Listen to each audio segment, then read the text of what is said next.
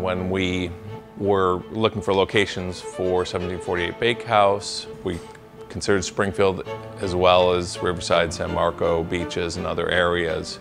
Uh, but we kept coming back to Springfield and especially coming back to Main Street. We chose Springfield because we wanted to be a neighborhood bar first, and we wanted to serve a community. And that is exactly what Springfield is. So loyal, so friendly, welcoming, diverse.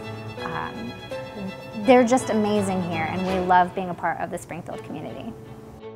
The neighborhood has definitely welcomed us, and we just want to create a cool area for people who don't live in the neighborhood to come down here, make it a destination spot. We had a vision for, for a future of Main Street, you know, that included places like ours and shops and boutiques and restaurants and just a vibrant Main Street.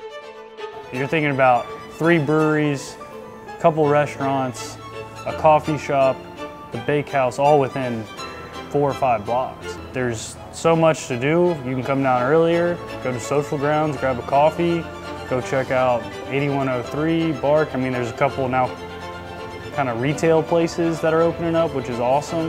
You can come down here and expect to park your car and have fun going to five or five different places until you have to hop back in your car.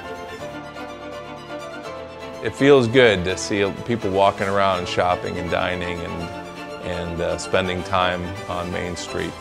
You know, we can see a time when it's even more resurgent and, and alive and busy and uh, the center of this community.